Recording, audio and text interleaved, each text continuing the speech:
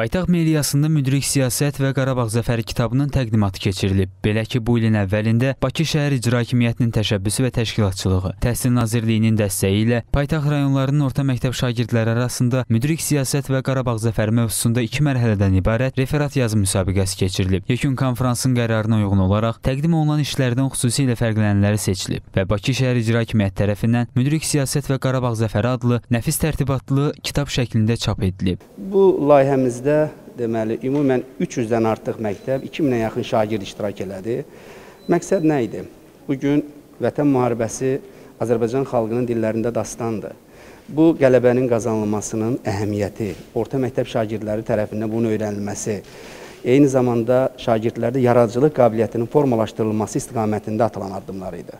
Paytaxt rayonlarında keçirilən birinci mərhələdə 12 rayon üzrə 316 orta təhsil müəssisəsindən 1879 şagird iştirak edib. Onlar 18 mövzu üzrə referatlarını təqdim ediblər. İlkin müsabiqələrdə 125 şagird birinci mərhələnin qalibi adına layiq görülüb. Onlar diplom və hədiyyələrlə mükafatlandırılıb. Müsabiqə komissiyası tərəfindən rayon qalibləri arasında xüsusi fərqlənən 34 nəfər şagird Bakı şəhər mərhələsində iştirak üçün vəsiqə qazanıb və onlar Bakı şəhəri üzrə keçirilən yekun mərhələdə müsabiqənin qalibi elan ediliblər.